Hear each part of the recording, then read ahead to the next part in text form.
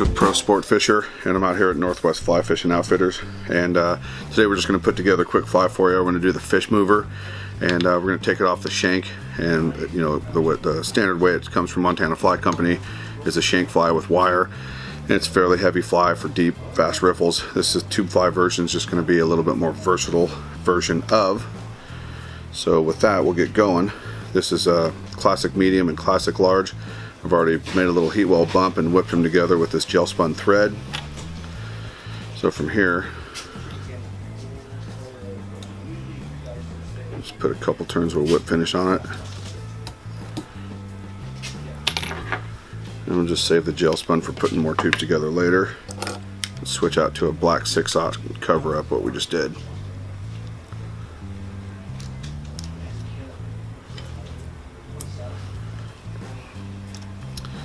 And fish mover is pretty easy to tie. It's not a lot of materials and um, it's just kind of repeating balls with different color saddle hackle and different color ostriches. So we'll put this one together for you. You can see how it's made.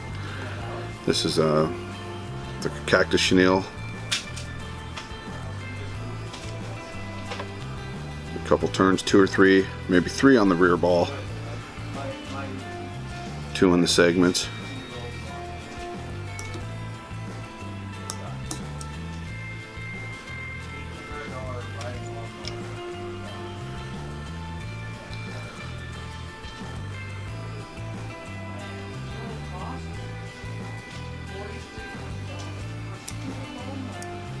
Come on, dude.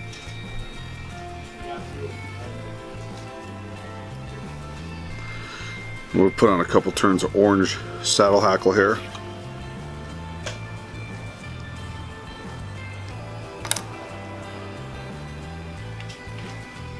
This is just going to help along with the chenille ball to prop those ostrich pieces we put in.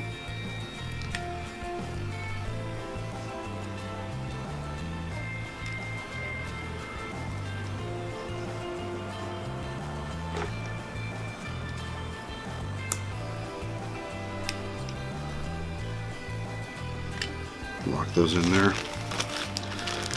This will be the next product we go with is a hot orange MFC premium ostrich. If you guys haven't tied with this stuff, give it a shot. It's really nice stuff.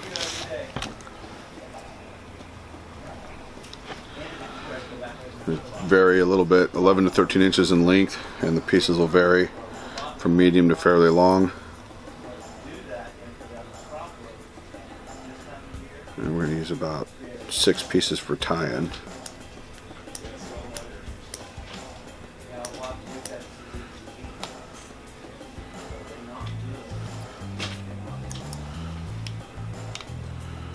Tire side, two soft wraps, and a little wiggle to splay it.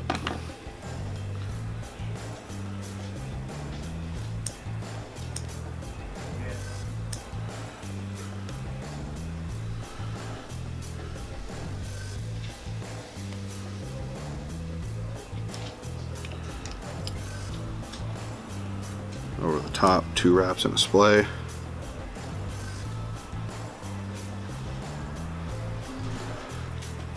I'll spin the needle 180 in the vise so I can get to the far side a little easier.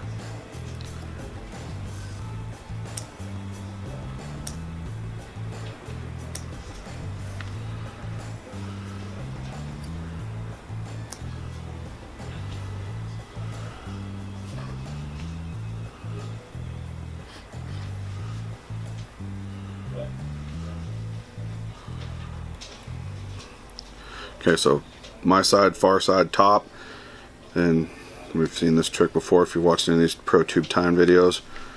Unwrap the six wraps holding everything. And we'll put some locking wraps forward, forward, forward, back, back, back, forward, back. Step one done. Now we're going to repeat with red.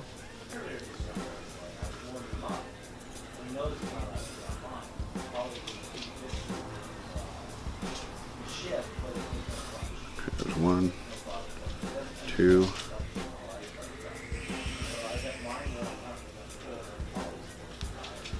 I think you tie this thing just with a smaller medium dumbbell, I find that it'll still catch fish. It's easier to get this fly on a tube inside. It's not quite as heavy. A little easier to cast. Fish seem to like it just the same. Okay, so red, orange, purple, black. So we'll go with the orange saddle. A little shorter than the orange one, a few less turns of that stuff on there.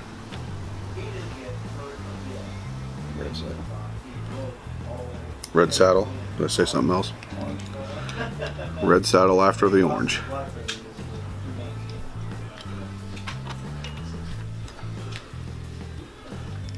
Fold those a bit.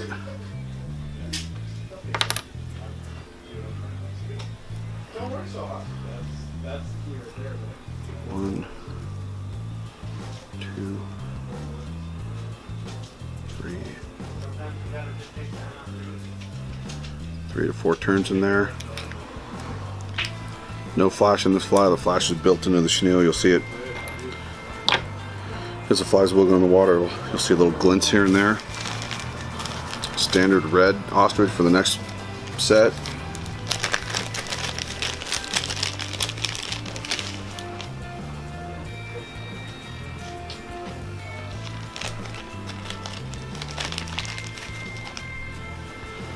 This one is just, we're not going to use that, just save that for a fly that may need the long stuff, but I'm going to pick one that's a little bit shorter. There we go.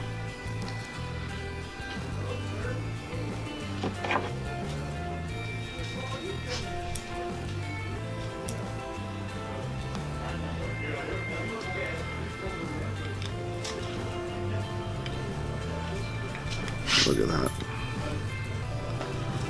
So on the shanked version, the rear ostrich is the longest.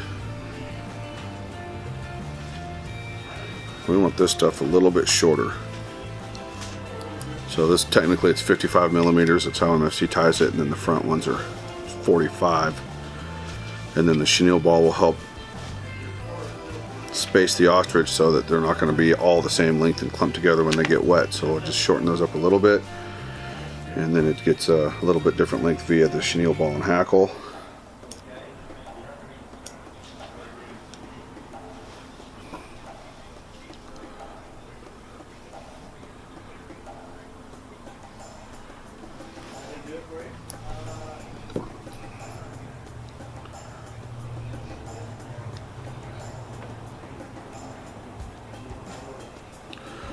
Just really soft placing wraps. That one's played really easy.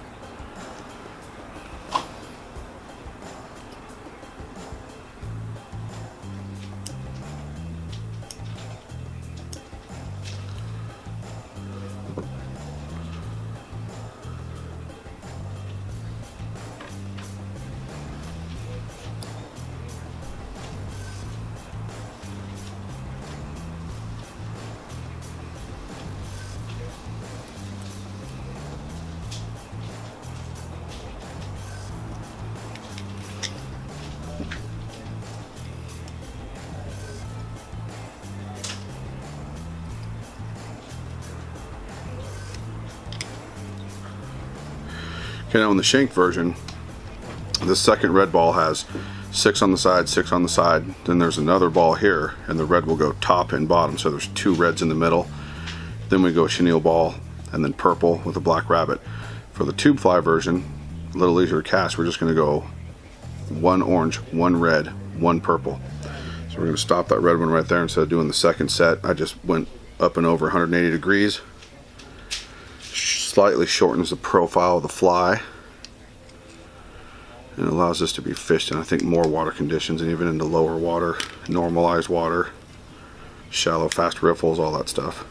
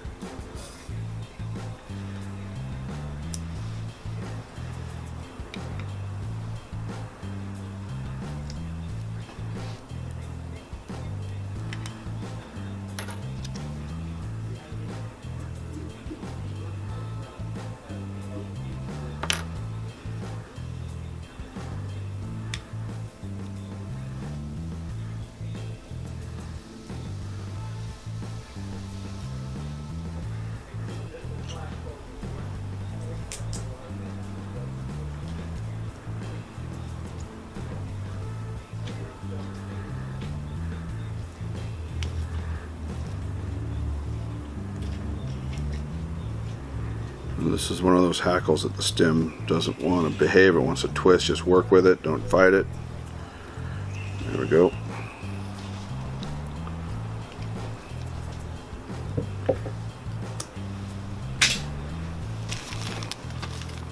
And then black, uh, purple with bar, black barring, or you can just go straight purple with this.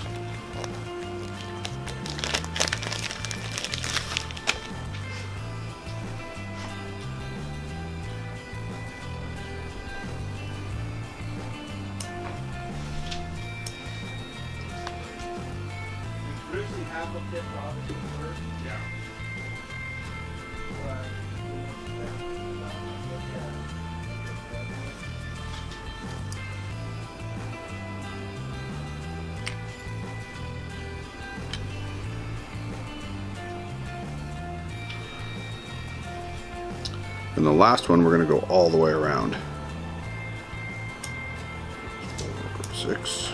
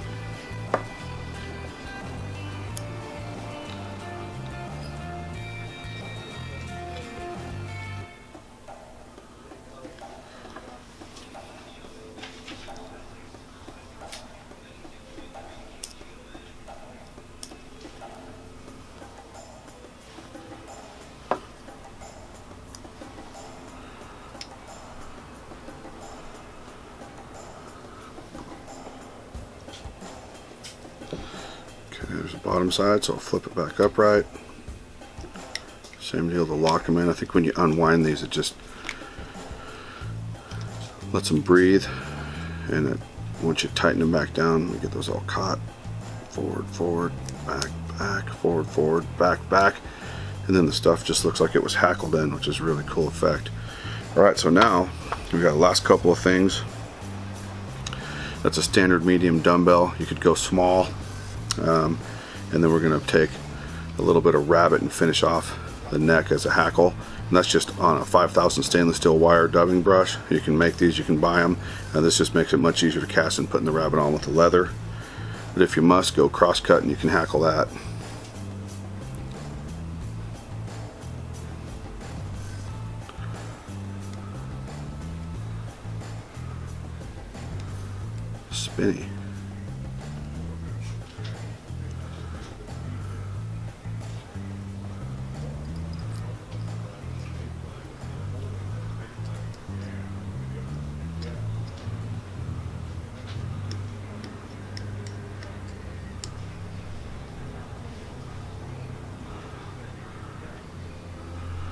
These are really easy to lock down to tubes too, much easier than shanks.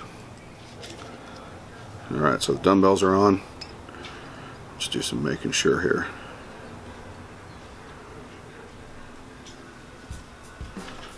Okay.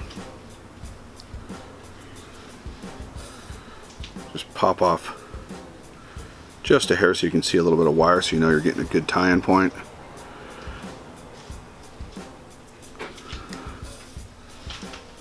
In that bunny brush.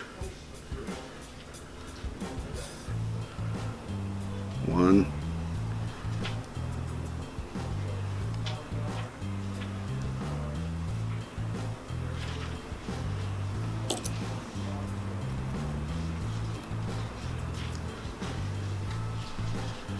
Two full turns, we're good.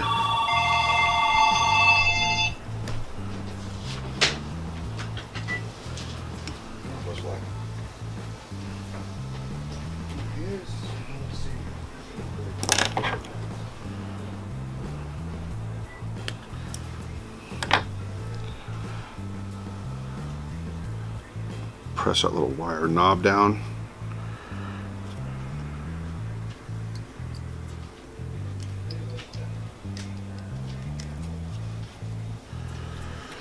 And usually I love the Zap-A-Gap trip, but trick to uh, finish the fly, of this rabbit. I don't want to mat it up with the Zap-A-Gap, so I'm just going to do a standard whip finish on this. A couple turns. The second one on for some insurance.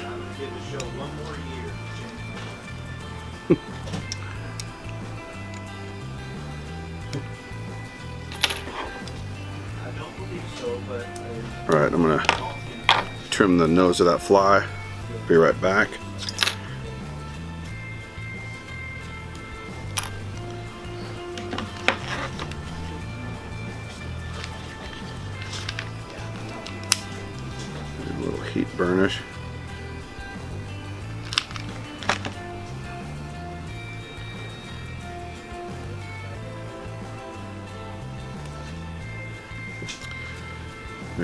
Fish mover on a tube. Now keep in mind we got a fairly long junction here. If you want to slide the hook right in the back, a size 1 or 2 will pull right in the back of this um, large classic. If you want to tie a loop knot, that'll help stiffen it. If you want the fly to sink a little bit better, just trim some of that off, get rid of some of the plastic and it'll sink a little bit better. But there you go, loop knot or just a clinch knot and pull the hook inside. Thanks for taking a look.